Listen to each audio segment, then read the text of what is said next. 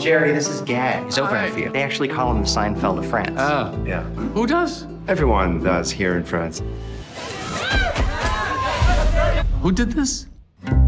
Purpose of your trip, visiting uh, the family. Looks like you've been flagged. I'm not dangerous at, at all. I am I'm a comedian. Very famous.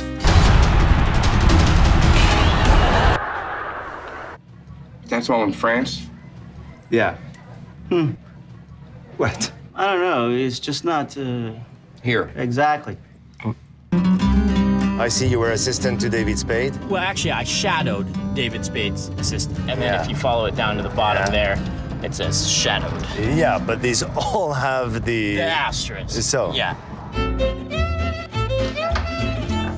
C'est yeah. Seriously? You came here. I want to fulfill my duties as a father. I'm one of the models. And you're Mr. Alan Ross? Uh, no, but I'm his father. Biologically, the, the man I consider my actual father couldn't be here. Jason Allen Ross. Aren't you popular in like France or something? Yeah, it doesn't matter, right? Because it's not the U.S. Exactly. Uh, you know, that's it. I'm done with comedy. I walked away from it. Good. Because I hate comedy. We don't do a lot of comedy around the house. It's a serious time in the world these days. It's Not a lot of room for laughter.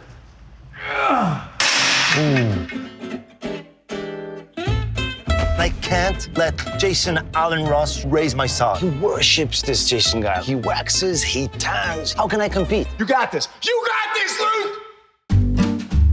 You want to help? Yeah. Go back to Paris. You're a king there, Gad. Never too late. You know that saying? Too little, too late. Do you know that one?